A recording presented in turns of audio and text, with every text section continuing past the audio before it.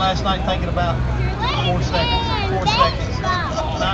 Four seconds yourself to death. I mean, you can't, you can't even think of four Look seconds. at Who's trying?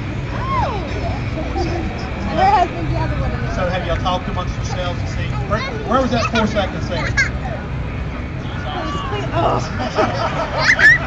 Wait, go, Phil. How, how, many how many years have you guys done the competition? This is the first year. That is first year. Very nice. And- and Have you ever put a Chevrolet R07 engine together before this company? First time we saw what? Built to go.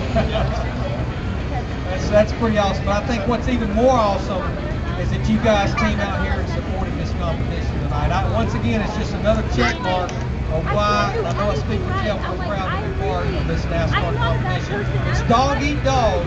You're going against each other, but you know what? Other than that, you support each other, you rally around each other, whether it's in good times or bad times. We a.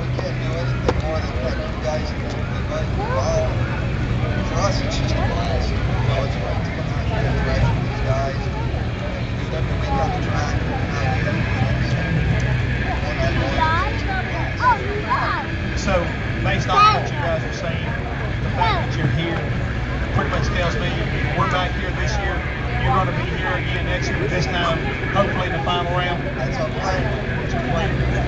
Well, things are looking better at Richard Petty Motorsports. Again, here last year during the All-Star event,